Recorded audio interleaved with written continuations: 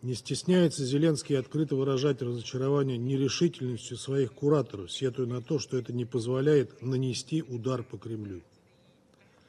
Сегодня с очень высокой степенью вероятности можно сказать, что решение снять ограничения на использование вооружений большой дальности для ударов по России на Западе уже давно принято, а сейчас мы просто наблюдаем финальный этап его легитимизации в глазах общественного мнения в информационном поле.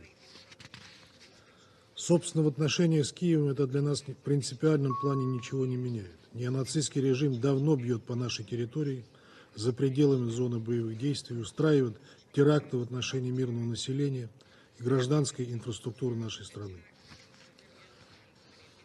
Однако подобное потенциальное развитие ситуации принципиальным образом изменит наши отношения с западным лагерем. Если решение о снятии ограничений действительно принято или будет принято, это будет означать, что с этого момента страны НАТО начинают прямую войну с Россией.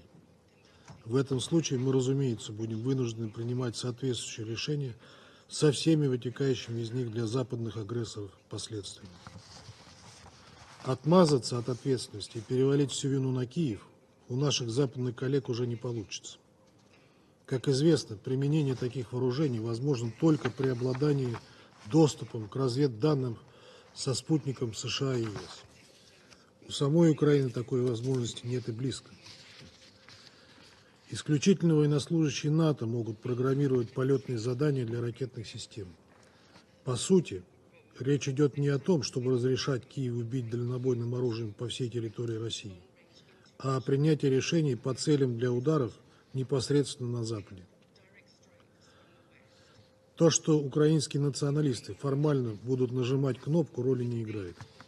НАТО станет непосредственной стороной военных действий против ядерной державы. Думаю, не надо объяснять, какие это может иметь последствия.